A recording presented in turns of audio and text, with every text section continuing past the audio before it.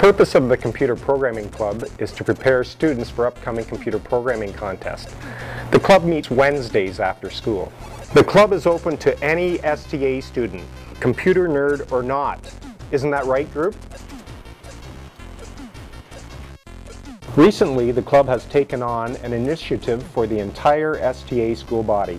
We are making available to the students of STA mobile phone assistive devices.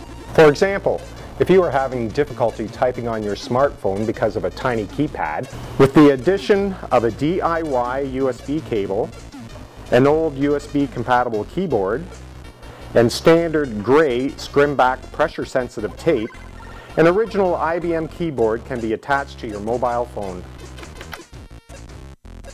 And do you have difficulty viewing the tiny screen on your mobile device? Not to worry. With the addition of an HDMI compatible monitor, an HDMI cable with the USB connector, and standard gray scrimback pressure sensitive tape, a flat screen monitor can be attached to your smartphone. And you may ask, how will this be powered? Again, not to worry.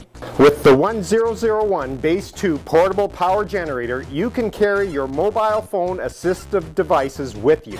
And if you don't have a 1001 Base 2 portable power generator, we have another initiative, that with the STA Technology Department, so that you can sign out a 1001 Base 2 portable generator for the day from Mr. Derbyshire in room 163.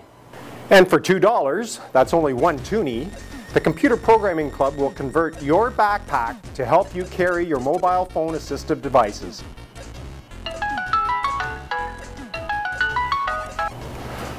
Oh, I have a call coming in. We are in school, so I need to take this call outside. Remember, no cell phones allowed in the school.